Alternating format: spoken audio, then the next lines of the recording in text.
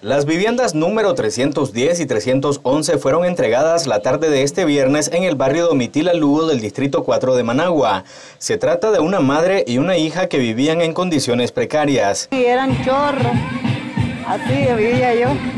Estaba podrido eh, la madera del techo. Podrido y, los, y los pilares estaban, se me estaba hundiendo la casa.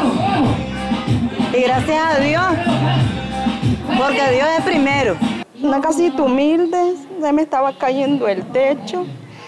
Llegué, llegué, al, llegué al final de que se me cayó la mitad del techo y yo dormía bajo la lluvia prácticamente.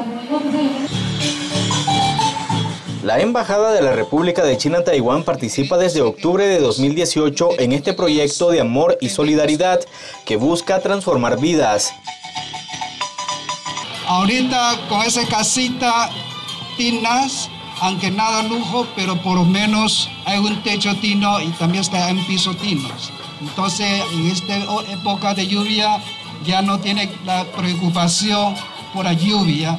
A pesar de la pandemia, el trabajo de las autoridades no ha parado para dignificar condiciones de vida de las familias más vulnerables. Ya se habían construido aquí en el Domitila 27 viviendas dignas, hoy entregamos la 28, hoy entregamos aquí la 29.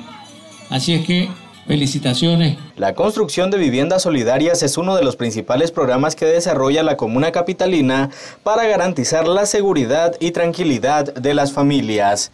Con imágenes de Ernesto Rizzo les informó Jimmy Altamirano.